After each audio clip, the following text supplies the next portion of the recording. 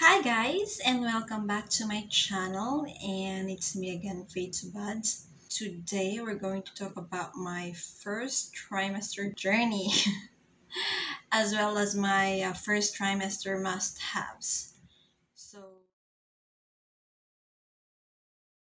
um, it took me a long time to really shoot this video because uh, I am with my daughter right now and uh, sobrang makulit siya so I don't really have um, the luxury of time para makapag-shoot ng video and now that she's asleep so I'm going to do it. So first of all, uh, first trimester is really tough. Ang hirap, promise. To the point that um, I I really um, don't like the feeling, yung feeling na masama yung pakiramdam, like uh, yung talagang, kaya pala siya tinawag na uh, morning sickness kasi yung feeling talaga na parang laging may sakit. But I was able to um, survive my first trimester journey and I am now on my uh, eighth week. To be exact, I would be 33 weeks and 6 days. And I'm ready to pop. Yeah. Ayan. So, first, what were my must-have? So, since na-mention ko kanina medyo mahirap ang journey natin sa first trimester. So, unang-una dyan, syempre, is yung uh, prenatal vitamins. Yan yung number one sa list ko na must-have. Um, I started with uh, folic acid. So, uh, the moment na nalaman ko na I'm pregnant, nagpa-transvaginal ultrasound agad ako. And actually, hindi pa siya nakikita. So, parang yolk sac pa lang yung nakikita. Wala pa, wala pa yung fetus. But, uh, pumunta ako sa doktor ko or sa OB. And then, resetahan niya agad ako ng uh, folic acid and then pampakapit kasi guys, I have a history of miscarriages twice. Plus, uh, yung the second time was last year, March. So, ayun. So, alam ng doctor ko yon And so, binigyan niya agad ako ng pampakapit. And I was really feeling na baka hindi magtuloy. Alam mo yung very nega ako. Nega talaga yung iniisip ko. So, ayun. So, folic acid and then pampakapit. Um, after a month, bumalik ako and folic acid pa rin, and then Obimin. And then, after ng Obi, Obimin, um, now I'm taking the Foralivit. Ayan, the Foralivit. So, this is uh, ferrosulfate plus folic acid plus vitamin B complex. So, kompleto na siya. So, until now, ito pa rin yung tinake, tinatake ko. And then, of course, cold water. Kasi, grabe. like, naghahanap ako lagi ng cold water. Lagi ako nauuhaw. And bakit hindi warm? Kasi feeling ko masusuka ako sa warm. Lalo na sa umaga, mga around 2, 3 a.m. Ayan na, magsa-start na yung parang masusuka ako. Tapos, um, afternoon, mga around 4 hanggang gabi. So, yung feeling na nasusuka ka lagi, tapos pagsusuka ako, yung alam mo yung parang may hyperacidity ka lagi. So, ayun, ang pangit sa feeling. And uh, gusto ko lang inumin is cold water. And sobrang nakaka-hydrate siya, nakaka, nakaka, parang naiibsan ba yung feeling na nasusuka. And also, um, milk, prenatal milk or maternity milk, whatever you call it. I tried Anmum pero hindi ko siya gusto. So, I just tried it for some time but I stopped it. I, actually, bumalik ako sa ano, sa regular milk, Bear Brand. And, but, nung first trimester ko, hindi ako palaging nag-milk or anything kasi, um, yun nga, yung feeling na parang nag-hyperacidity ako lagi. And, uh, acidic ang milk. So, medyo umiwas muna ako nun for the first trimester. Next is lychee. Ayan, sobra akong nag-crave ng lychee. Like, buti na lang, there was this time or season siya ng lychee. So, actually, siguro ako kaya ako nag-crave kasi nakita ko siya sa somewhere sa fruit stand ng dinadaanan ko going to work. And ayun, so parang for like a month, puro lychee na lang yung prutas na gusto ko. So I don't really eat um, fruits, fruits like apple, oranges, or any other fruits. I also have strawberries, uh, mango, pero hindi ko siya nakakain. So what I did with the strawberry and mango before was, finis ko siya. Kasi, alam mo yung feeling na gusto mong kumain, pero pag naalala mo yung hyperacidity mo, oh my God, susuka ka na agad. So, ayun lang. Lychee lang talaga yung nakakain ko na fruits. And then, uh, Next is sky flakes or flakes or any flakes. Ayan, mga dried na crackers.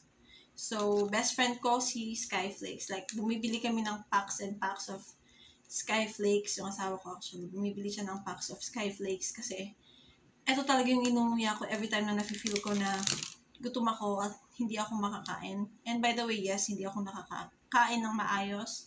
Like, um, I can only eat rice tapos dried na ulam. Um, no, ayoko ng mamantika, ayoko masyadong may masabaw.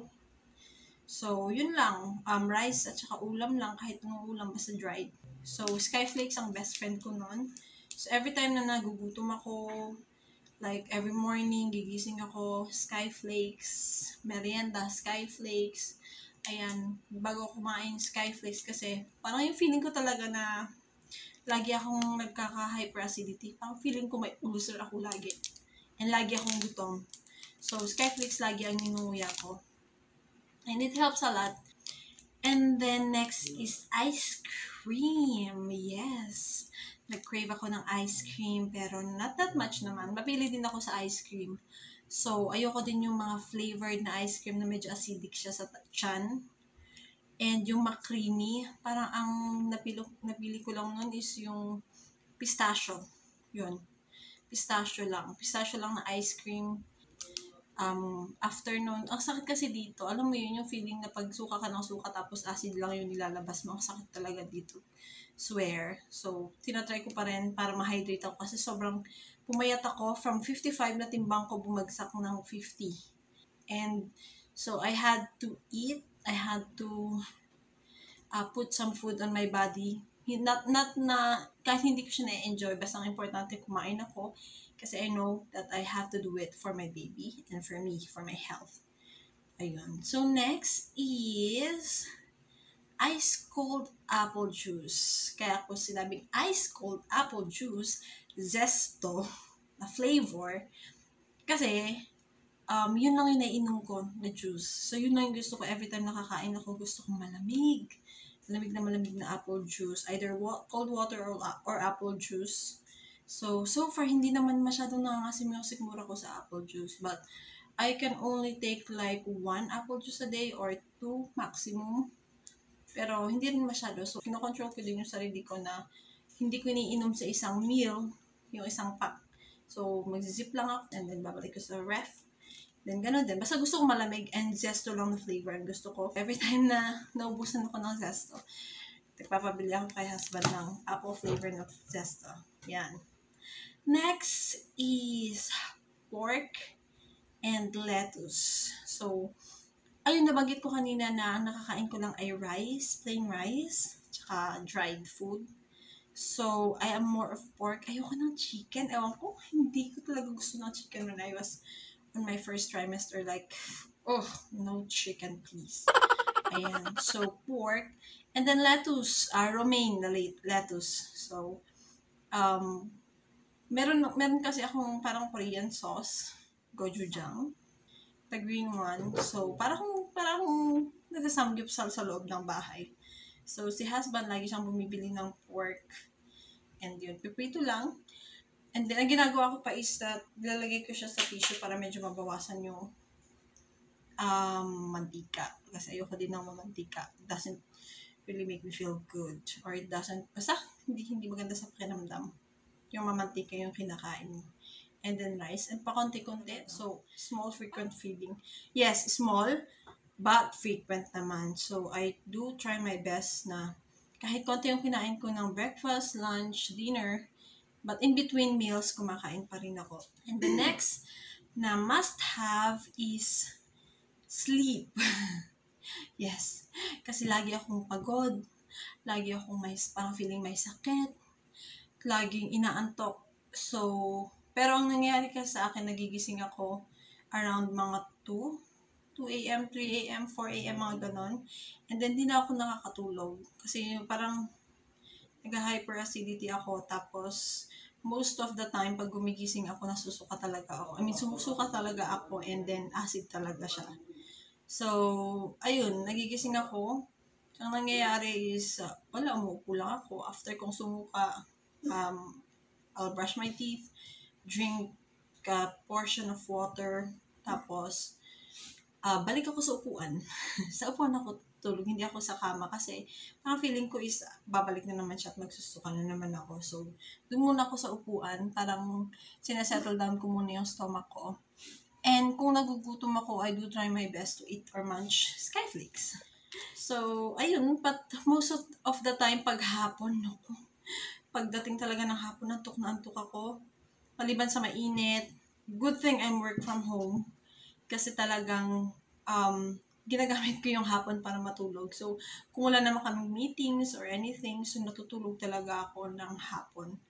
And I don't need to go to the office kasi ini-imagine ko kung nasa office ako tapos sobrang antok na antok ka tapos andun yung boss mo, oh my G!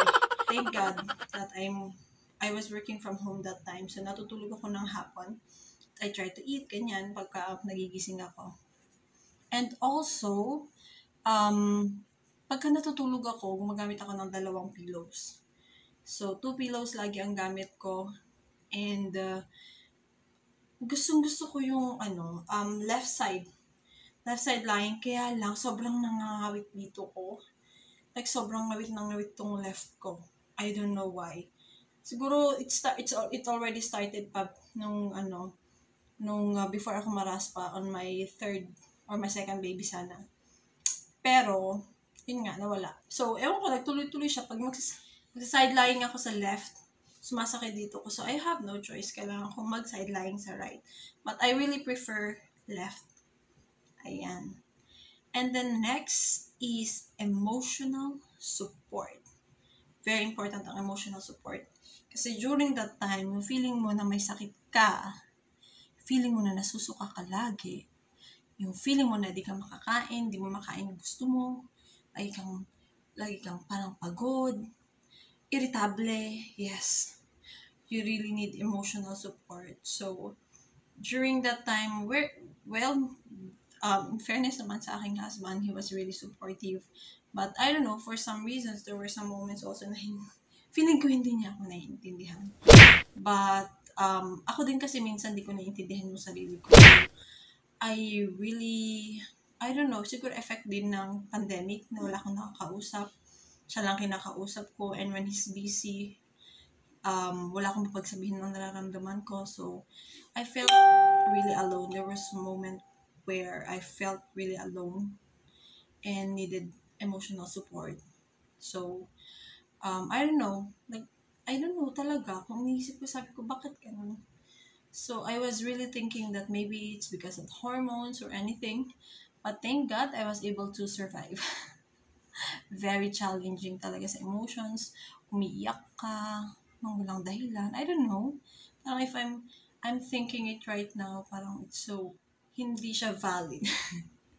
May mga invalid reasons ako for crying, Ayan, tapos inaaway ko yung husband ko. So, I don't know. But, yun nga, for, for other husbands out there na um, dumadaan sa first trimester yung mga asawa, so you really have to widen your understanding and uh, um, try to understand talaga kasi yun nga, yung nagkakaroon ng changes sa katawan, isama mo pa yung hormones, isama mo pa yung mga paglilihi and everything. So, nagkakahalo-halo. Tapos ngayon, pandemic pa. So, hindi nakakalabas ang mga mamshies. Ayun. So, wala, wala talaga akong nakakausap ng but thank God na na-overcome ko. And I'm good. Ayan. And also, physical support. Kasi ako, um, masalan akong magbuntis. So, I already have two history of miscarriages. So, um, mabait naman yung asawa ko kasi he does the, yun na pagbubuhat and everything, paglalaba, um, pagluluto, pag sobrang tinatamad na talaga ako. And um, I, there, there were moments na hindi ko talaga nagagawa yung trabahong bahay. Like, iniwan ko yung hugasin, sobrang tamad talaga. Gusto ko matulog. After work, kunyari after namin ng mag-meeting, tulog agad, ganyan. So, hindi ako nakakapaglinis talaga kahit yung yung dati namin tinitirhan, there was a moment na umakyat yung umakyat yung aming landlady, hindi talaga ako naghugas, hindi ako nagwalis. Uh, And so, ang gulo-gulo niyang naabutan. That was really epic fail. Ayun, so pinagsabihan niya kami to clean up and everything. So, ayun, there were, ju- there were just those moments na kailangan siya yung gumawa ng mga gawaing bahay. But, he was able to do it naman in fairness to my husband. And, so, ayun lang guys. And, uh, so I mentioned, I think, 11 must-haves. So, I don't know, para, siguro marami pang iba. May, I, I probably have missed out some things. But yun lang yung maalala ko. So, I've, I have really tried to uh, do this video before pa. Lagi ko talaga iniisip. Sabi ko, kung masur- makasurvive ako nitong first trimester, gagawa ako ng video or vlog ko about the must-haves ng first trimester. so, it took me some time kasi naging busy din ako sa work.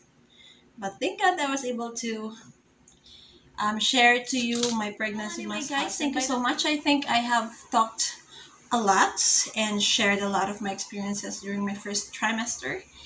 And sana hindi kayo magsawang sumuporta sa akin. Thank you so much, guys. Please don't forget to like and subscribe to my YouTube channel. Bye-bye. See you in my next video.